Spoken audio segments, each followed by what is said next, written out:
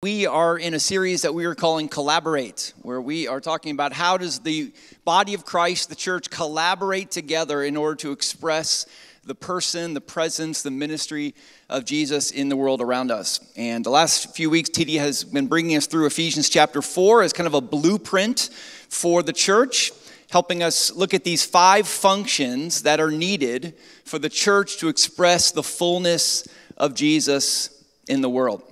And in order to fulfill these five functions, we've said that God has given each of us gifts in certain areas so that together, as we collaborate together, we express the fullness of Jesus in the world. Now, I know for some of you, this is maybe a new paradigm to think about these five functions as being kind of definitive of the, the life of Jesus and the calling on the church. And so I wanted to just kind of give you one illustration that has kind of helped me wrap my head around all this. And it goes back to my days uh, back in Chicago when I was in grad school and I was a high school basketball coach. And every year at tryouts with this high school basketball team, I knew that when I threw out the 30 guys onto this court, that what I was looking for was a team that could fulfill the five functions needed for success. I knew that uh, as a team, we needed to be able to possess the basketball, to, to handle the ball well, to, to push the tempo at times. I knew that our team would need to be able to distribute the ball uh, around and make sure it touches everyone's hands and we get a lot of movement to confuse the defense. So I knew that there was a ball handling function that I had to find somewhere in this tryout. I knew that we had to shoot the ball with accuracy. In the, in the new game of basketball, the three pointer is so important. I knew I needed people who could stand on the outside and make those shots and be trusted, especially late in the game. I knew that in order to balance the outside shot, I needed people who could cut to the basket, kind of that slasher type, who could get to the rim and, and draw contact. I knew I needed someone who could rebound the ball, a big presence inside who could keep others away, get the ball, put it back up, kick it back out. And then finally, I knew that on the other side of the ball, defensively, I needed someone who could guard the rim so that when their team tried to cut to the basket, they were intimidated that there was a big presence inside. And so I kind of had these five functions in mind, and, and I knew that the, the dream would be that all five players that I put on the court would be able to do all five things equally well, that they would be great at all five functions. But the reality is that's just not how it works with athletes and with a team. And so what you end up doing in tryouts is you look for people who have a natural gifting in one or two of those functions. You look for someone who, based on the, their size gift or their speed gift or their intelligence gift, uh, or kind of the practice that they've put in with their ball handling, you look for someone who can fulfill that function. So you try to find a point guard who can be the primary ball handler and fulfill the ball handling function. You look for a shooting guard who will be the primary shooter. You look for that three man who can cut and slash, whose gifting will allow you to accomplish that function.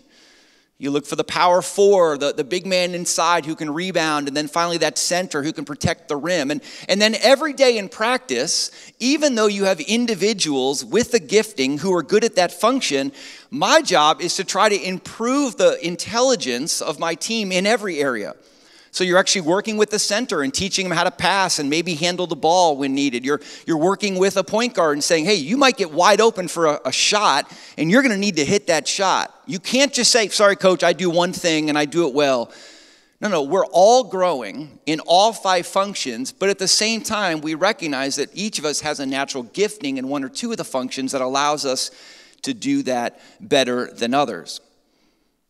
And so, what you do is you put together a team that can collaborate well, that can work as one, a, a, unified, mature group of people that celebrate the diversity of their gifts and celebrate that together we can fulfill all five of those functions. Now, it's not really that unlike the church. Jesus has given each of us gifts, supernatural gifts that are expressed in our life that allow us to, to be better at expressing some of these functions in the life of the church than others, and yet we're all called to grow in all five of these functions. But when you put us all together, the goal is that we would each kind of cover for each other's weaknesses, learn from each other's strengths, and together we would become a, more, a better expression of Jesus in the world. The calling upon the body of Christ is to represent the fullness of Jesus Christ. In the same way that Jesus came and represented who God was, he's now sent the body, the church, to represent who Jesus was. And so, in order to do that, we, we continue to express all of the fullness of who Jesus is. I mean, often we think about the, the character of Jesus as one of the things that we're trying to express. So maybe think of that as like fruits of the Spirit love, joy, peace, patience, kindness. That's the character of Jesus. And we hope that the world looks at us and sees characteristics of Jesus that point to Jesus. But there's another part of Jesus' life that's not just his character, it's the competencies of Jesus. It's the, the skills, the activities, the things that he did. And that's what these five functions are. They're really the practices or the, the activities of Jesus that add value to the world. And so we are not only living out the characteristics of Jesus love, joy, peace, patience we're living out these functions of Jesus the apostolic function, the prophetic function, the evangelistic function, the shepherding function, the teaching function. And as we do that, we are representing Jesus in the world around us. All five of these have been given to the church, and all five of them are needed in every local church in order to bring about the fullness of Jesus in the world. These gifts are for equipping the church. They're literally the equipment the church needs to express the fullness of Christ. We can't do it without this equipment, so we have to receive it, understand it, wear it well, and as we express these equipping gifts, we express the fullness of Jesus. And so that's what this series is all about. It's about learning how these functions are expressed in the church, better understanding our own giftings, so that we can help Media City embody the fullness of Jesus, not just with each other, but also in the world around us. And so, most of the, the slides today, you don't have to put anything up there now, but in the upper right hand corner, you'll see a little QR code, and you can scan that QR code and take uh, an assessment that the team has put together called a GPS assessment that will help you understand your sense of gifting.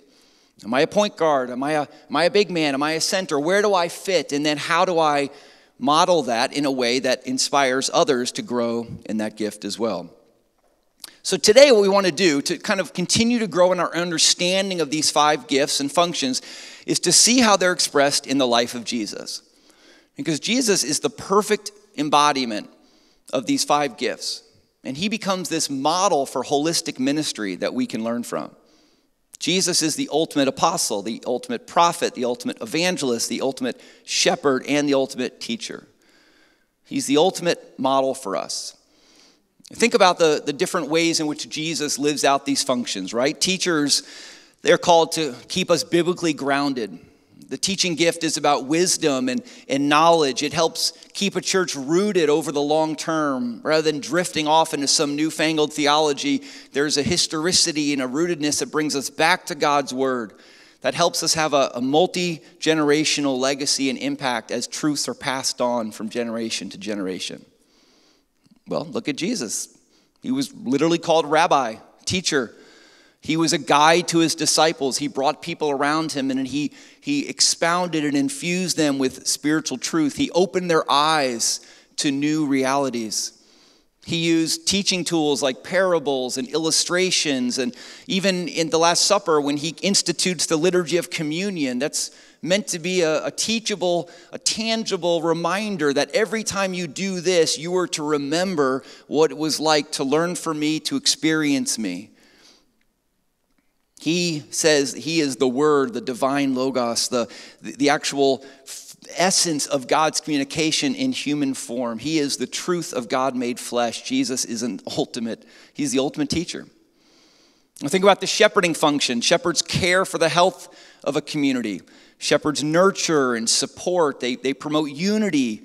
They're caregivers. They, they reconcile parts of the body that have become separated from each other. They're like the glue that holds the family together.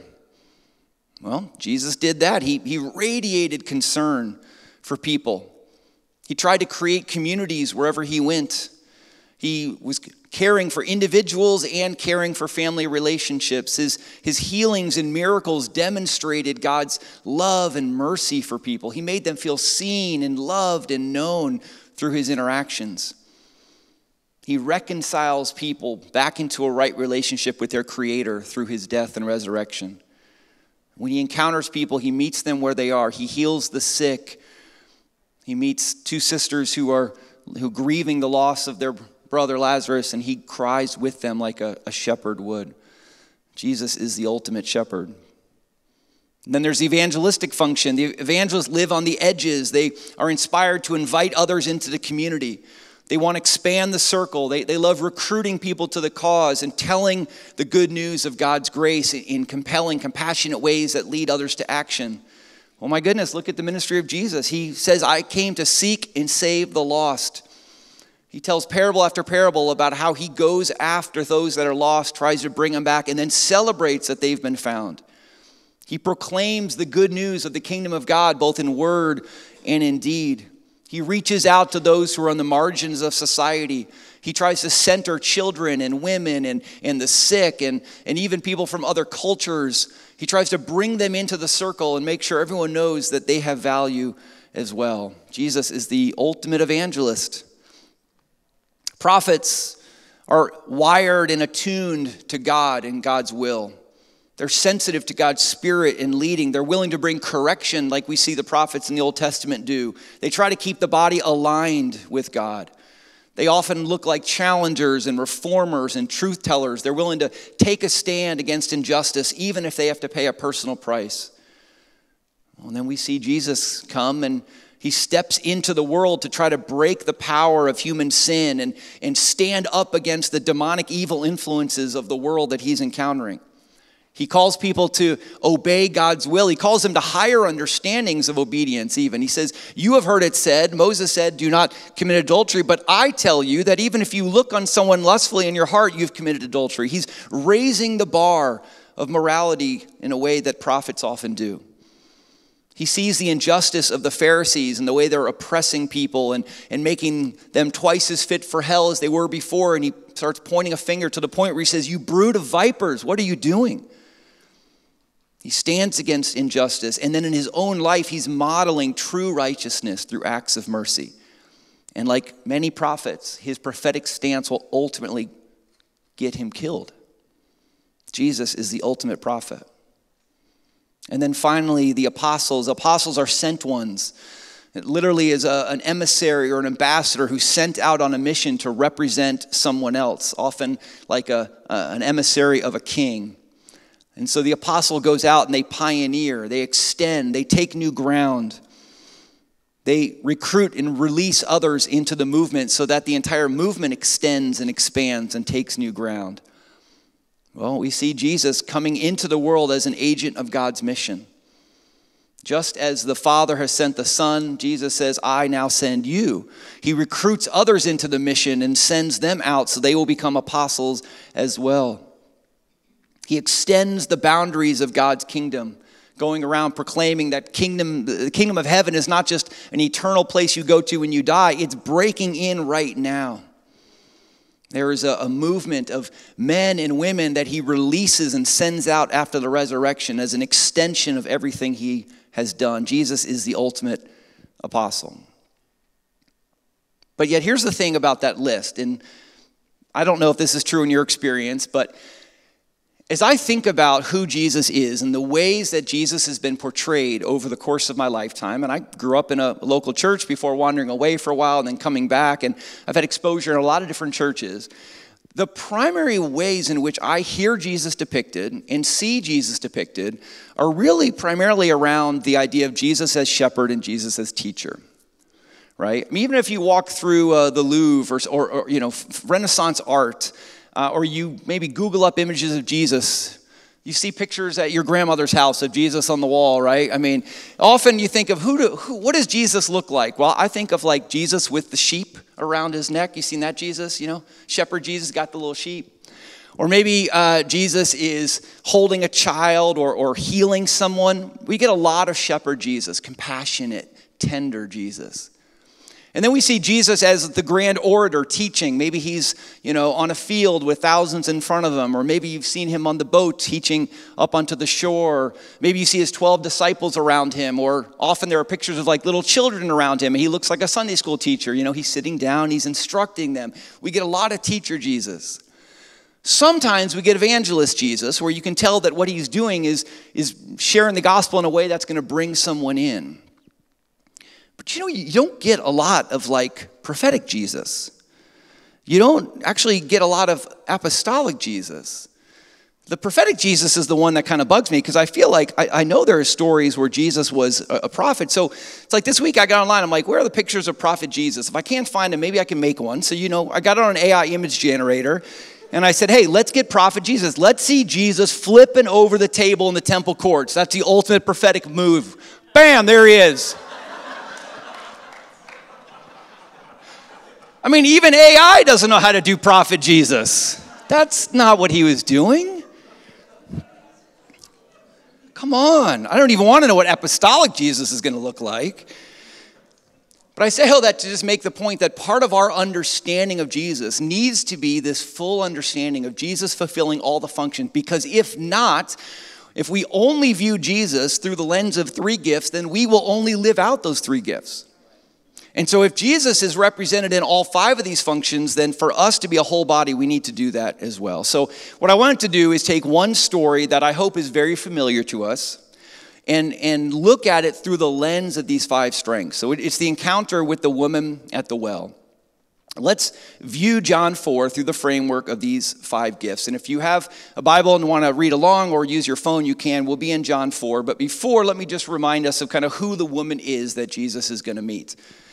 Jesus is walking through the area of Samaria, and he's going to meet a Samaritan woman at midday. And as you're maybe familiar, the reason she's there, we assume at noon rather than early in the morning, is because she's trying to avoid all the other women who would have gone first thing in the morning to draw water while it was still cool. And so we assume that she's some level of social outcast, and eventually we'll learn that it's due to her relational history, and the text will tell us that she's been married five times. Now, I believe, and I've read this from many scholars, that I, I, think this speaks to a fact in her life that is not clearly pointed to, but is based on ancient Near East culture, which is that I think that the reason she's married five times is because she's unable to have children. In an honor shame culture, people don't get divorced for irreconcilable differences like they do in the West today. Women had no power to divorce a husband. A woman would get divorced because a man divorced her because she could not provide culturally uh, the primary function of being a wife, which is to give a man children. So, five different times she's married men, hoping, believing, trusting that she could get pregnant and give this man a child. And five different times the man has said, You're broken, enough of you, I will find another woman. In fact, the man she's living with now won't even honor her with a formal marriage because he doesn't think that she'll be able to do that. So her physical brokenness has led to this social brokenness where in the eyes of her community, she's probably seen as cursed by the gods. Like, you're so broken, we don't even want to be around you, lest the curse on you rubs off on us. And she is aware of this kind of social um, sidelining to the point where she decides, I'll just go get well. I'll go get water at the well in the middle of the day so I don't have to deal with the comments and the snickers and the snide remarks from the ladies who know that I'm broken. So, Jesus' mission when he encounters this woman is to seek the redemption and renewal of all creation. And so, you begin to imagine what would the redemption and renewal of her life look like? It wouldn't just be going to heaven when you die. It would be that the kingdom of God is going to break into her everyday, current, present life, and that everything might be different because of her encounter with Jesus. That she might be restored back into loving relationships, that she might feel loved and seen by God and loved and seen by others around her. It's not just going to look like forgiveness from sin. I'm sure there was sin in her life, even if it had nothing to do with her marriage. We're all sinners. But it would look more like being restored from this place of shame to a place of honor in her community, being centered again, being able to fit in and belong in the world that she lives in. Jesus is out not just to save her soul, but to transform this woman's whole life. But to do that, it's going to take all five functions to bring her out that level of fullness.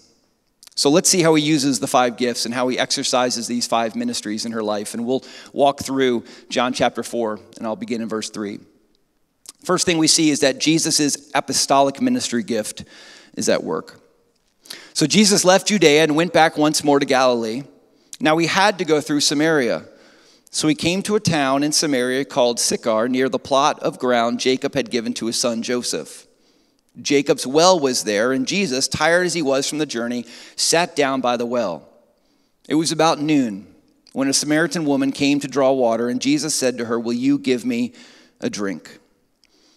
The apostolic gift is about movement, it's about being sent out, it's about breaking new ground as an agent for change. It says here in the passage that Jesus was going from Judea, the, the, the realm of the region of the south, uh, to Galilee, the region of the north, region of the north, and it says so he had to pass through Samaria, which was the region in between. Except if you've ever looked at a, a map in your Bible, you'll notice that the Jews actually didn't go through Samaria because they deemed those people to be unclean, and so they had crossed. They would cross over and go their, through their own land and then cut back over, almost the the way a, a 405 or a 495 or 295 highway goes around the city because nobody wants to have to go through downtown at this time of day. And so when it says that he had to go through Samaria, this is not a geographical mandate. Like, oh, had to go there, chilling away. It, it's actually an apostolic mandate. It's a missional mandate. It's a, I have to go to this region to engage with these people because I was sent to everyone. The Jews would not cross this barrier, but Jesus, as an apostolic person is like, I have to cross over. My impulse is to go engage in different places, difficult places. It's to, to pioneer, to extend the kingdom of God, to take on new territory, so to speak. just that he was sent to earth as a missionary to display the nature of God, he now feels sent into Samaria to display the presence of the Messiah. But not only is he breaking, again, this kind of geographical and cultural barrier, but he's also breaking the social conventions when he strikes up a conversation with a woman while they're alone. That often wouldn't happen. And not only that, but the woman pretty quickly realizes, I'm a Samaritan, you're a Jew, why are you talking to me? We have nothing in common, meaning, I know you all look down on us. I know you think nothing of us. Why would you ever want to talk to me? But he's not only talking to her, he's actually doing something even more apostolic, more boundary crossing. He asks her for a drink, meaning, I don't have any cups or anything to draw water from, but whatever you have, would you let me share that cup, that pitcher, that jug? Would you share it with me that we could both drink from that same cup? That is culture crossing right there. That I am a Jew and willing to share the same uh, implement that you are sharing. Now, what she would know is you do know that will defile you, right? Like that will make you unkosher, unclean. I can't believe you would do that. He is crossing over, stepping over every cultural convention to the point that when the disciples get back at the end of the text, you know, they're like, what is he doing? Why is he talking to her? Why is he sharing a drink? They're like, they're blown away. They're too embarrassed to ask the questions out loud, but it says in there like all the things that they're thinking. They're like, Jesus, no one goes here. No one does this. No one talks to people like this. They definitely don't drink with people like this. What is going on? And Jesus is like, whoa, apostles do. This is exactly what apostles do. Apostles are sent to cross over. They feel compelled to, like it's part of their DNA. Like the minute you draw the line, they're like, oh, I got to cross that now, I guess. I mean, the minute you say that the kingdom of God can't go there, that that person will never be reached, that the gospel, that Jesus is not working, the Holy Spirit isn't present, they go, that's it, I guess I'm going because I, I don't believe that. And so Jesus is like, man, I'm breaking that mold. I have to do that or else I'm not being who I was called to do. Second thing you see in this text is that Jesus' evangelistic ministry gift is at work. Verse 7 When a Samaritan woman came to draw water, Jesus said, Will you give me a drink? His disciples had gone into town to buy food, and the Samaritan woman said to him, You are a Jew, and I am a Samaritan woman. How can you ask me for a drink? For Jews do not associate with Samaritans. Jesus asked her, If you knew the gift of God and who it is that asks you for a drink, you would have asked him, and he would have given you living water. Sir, the woman said, You have nothing to draw water with, and the well is deep. Where can you get this living water? Are you greater than our father Jacob, who gave us the well and drank from it himself, as did also his sons and his livestock? Jesus answered, Everyone who drinks this water will be thirsty again. But whoever drinks the water I give them will never thirst. Indeed, the water I give them will become in them a spring of water welling up to eternal life. Evangelists are friendly to the fringes of society. They love reaching out to a woman like this who's seen as an outsider and trying to center her and make a personal connection, make her see, make her feel valued and seen and notice how he's inviting friendship through the sharing of this cup of water together, even by putting her in the power position to say, Would you basically serve me with the resource that you have. I think in our Western culture today, sometimes we think about, you know, like a, a, waiter or a waitress at a restaurant, and often the person who has the money is in the power position and they're paying the person to serve them. But in that culture, the point here Jesus is making is that you have the resource that I need. You are in the power position. Basically, would you give me a drink of water? And you could say no, because, and then I would be stuck. He's actually leading with, with a sense of weakness, not strength. He's not demanding. He's not saying, I can make water out of thin air if I want to. Would you like some of my water? He's basically saying, You have something that I need. And he's inverting their entire social and, and, and kind of cultural dynamic in that moment in order to create a sense of friendship. And then he does what every gifted evangelist does. He takes a very natural conversation about water and he turns it into a spiritual one. It's not some heavy handed, if you died tonight, why would, should I let you into my kingdom? It's just, you know, hey, you got water. Water makes me think of thirst. Thirst makes me think of kind of, you know, what else are we thirsty for? And actually, if you wanted to ask me, I could give you something that would solve all the thirst, all the longings in your life. Is that interesting? To share the good news with a woman at the well, you just start by talking about water. You lead with humility. You ask for a drink. You establish rapport. The evangelistic gift is not a bullhorn or a sign on the corner. It's not condemning people to eternal damnation if they don't turn or burn. No, no, no. It's about a winsome personality that invites others into a conversation, invites them into a community, and then once that trust is established, communicates the gospel in a way that resonates with the longings of their own heart. And what a gifted evangelist. It leads her to respond Sir, give me this water so I won't get thirsty and have to keep coming here to draw water. The third thing we see is that Jesus' prophetic ministry gift is at work in verse 16. He tells her, Go call your husband and come back. I have no husband, she replied. Jesus said to her, You are right when you say you have no husband. The fact is, you have had five husbands, and the man you now have is not your husband. What you have said is quite true. Sir, the woman said, I can see that you are a prophet. I think the first couple times I read this, I read it through the lens of kind of Western condemnation almost, like, like he was trying to trap her, you know, bring your husband. Oh, I don't have a husband. Ha ha, I know you don't have a husband. You have five, you know? Yeah, what's wrong with you, you know? I don't think that's at all what's happening. I think what he's trying to do is he's, he's, he's exercising the prophetic function, which is that he, the Holy Spirit in Jesus that came upon him on the baptism is giving him a word of knowledge for this woman. He's giving him a specific insight that he has, would not know naturally. He's never met her before. He doesn't know this from a natural point of view. He doesn't have a, a dossier or a scouting report. But the Holy Spirit reveals to him something about this woman that he wants to reveal to her as a way of showing her I see you and God sees you. And not only do I see you, but I know something about you that has caused everyone else condemn you, and yet I'm not condemning you. So you don't have to hide from me. In fact, let me just state what I know is probably the biggest source of shame in your life, and then let me not treat you like everyone else has treated you. I mean, the Spirit reveals something that only God could reveal. And that insight communicates to her that this God that she wonders about is active and alive and he's here. He's not just in Jerusalem, he's not just where the Jews live, that there is a supernatural God who knows things, who is speaking right here, right now, in her presence. In fact, her response just goes to show she knows what's going on. She goes, You are a prophet. You should know that. God has told you something. This is what a prophet does. He gets a special insight from God and reveals it. And the beauty is that that insight validates him being from God. It's so powerful that later in verse 39, when she runs back to town, she'll say, Come meet a man who knows everything about me. Okay, that's a little bit of a stretch. but in her mind, knowing her big secret, was proof that he, he, he must know everything. Because that's the last thing I would want him to know. And he knew that. It was such a profound moment that she gives him credit for basically knowing God clearly would, to, would tell him anything he needs to know about my life. But here's the point I'm making is in this encounter, the evidence that God is real and present is this experience of a special piece of knowledge.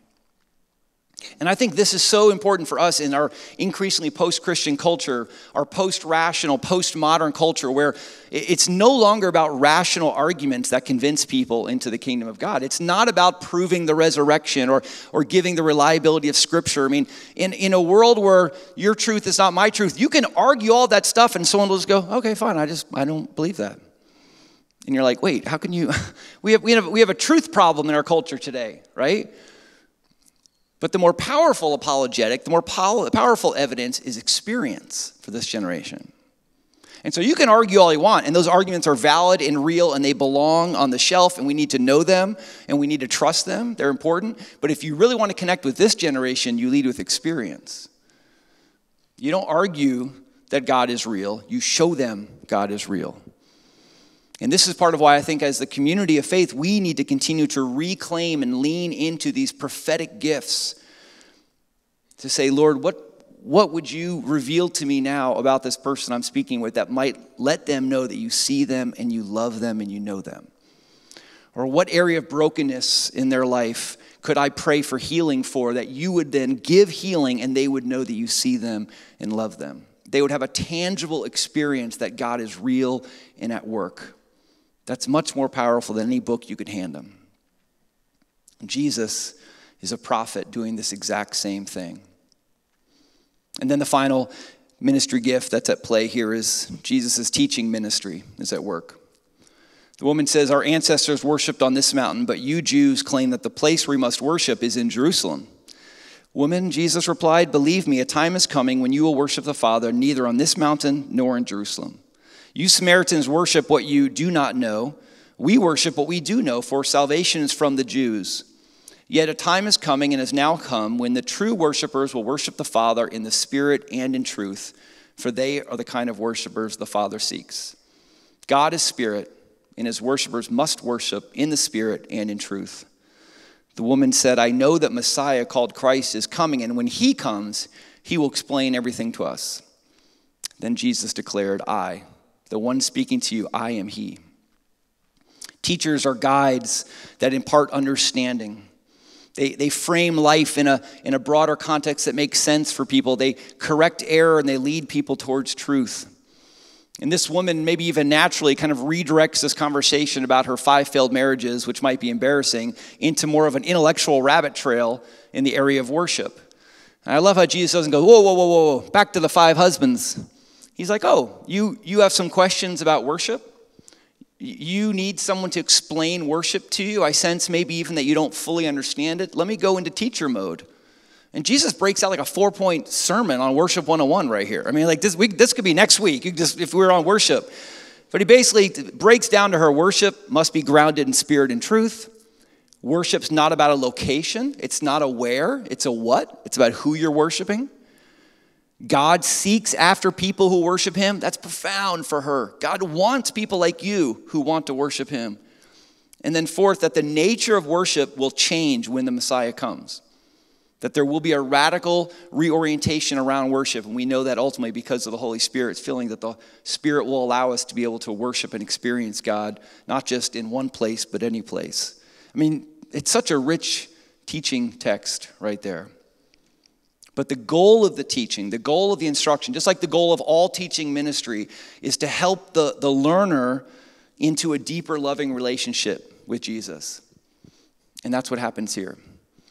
All of the scriptures point to Jesus. And this teaching passage, that he, this teaching moment that he had, points to him. And she says, I'm looking for the Messiah. And he says, You found him. I'm right here. Sorry, final gift is the shepherd ministry gift at work. Then, leaving her water jar, the woman went back to the town and said to the people, Come see a man who told me everything I ever did. Could this be the Messiah? They came out of the town and made their way toward him.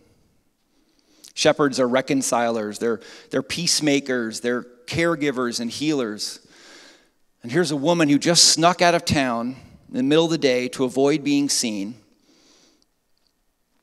The only reason she would even leave her home and risk embarrassment is because she needed water. And yet her encounter with Jesus is so profound that she leaves the jug of there and runs back without it. And she left town ostracized and marginalized and stigmatized, and now she comes back into town screaming and crying out and drawing everyone around her. Rather than trying to be on the out, have no one look at her, now she's like, hey, hey, everyone pay attention to me. I have something that you all need to hear. And all of a sudden, as people gather around her, she gets to be the one to proclaim, she gets to be the evangelist to proclaim that I've met the Messiah, I've, I've heard the good news, come and meet him. And I always imagine, you know, for years and decades down the road, that this woman will be the reason that this town in Samaria understands and becomes followers of the Messiah. That she goes from being the outcast to being the hero. But that's part of Jesus' shepherding ministry. She goes from having no friends to being surrounded by a community who's grateful that she's a part of it. That's what reconciliation looks like in the presence of Jesus the shepherd, it doesn't just save her soul. It's not just that she's going to heaven when she dies. It restored her from a place of, of shame to a place of honor. And now she has the abundant life of being in a loving community that appreciates that she has something to add and she has a value to give. It's a great final picture of the end of the ministry as she comes full circle and receives this loving gift of being a part of a community. Jesus, the apostle, the prophet, the evangelist, the shepherd, and teacher, he becomes a gift to this woman, and she'll never be the same. I want to close by doing something a, a, little differently with our reflection time because I think in a series like this, it's easy to focus a lot on the how do we live this out part. And this is what the verb collaborate is all about is how do we collaborate to be like this? But just to pause and recognize that we will never be like Jesus to the world in a way that we haven't experienced Jesus be to us. If you've never experienced Jesus as an evangelist who, is, who has won you to the good news, you can't go be an evangelist of the good news of Jesus to the world. If you've never experienced healing and wholeness through Jesus, a shepherd, you, you don't have healing and wholeness to offer to the world. And so, even today, as we kind of close, I want to just allow us to not just focus on how do we go be Jesus in the world, but how do we receive these five ministries of Jesus in our own life? These are the ways he wants to minister to us as well. And then eventually minister to us and then through us to the world around us. So, as we learn to identify these gifts, I thought it'd be good to just close by creating some space of silence and and asking Jesus to speak to us with just these five questions, maybe. Where is Jesus the apostle leading me to take a risk in faith? In what areas is Jesus the prophet calling me to radical obedience to his word? How is Jesus the evangelist trying to draw me even closer to him? What wounds is Jesus the shepherd working to finally heal in me? And what truth is Jesus the teacher trying to get me to fully embrace? Let's ask the Spirit to speak to us in these closing moments now that we might not just be participants in the ministry of Jesus, but first and foremost recipients of the ministry of Jesus.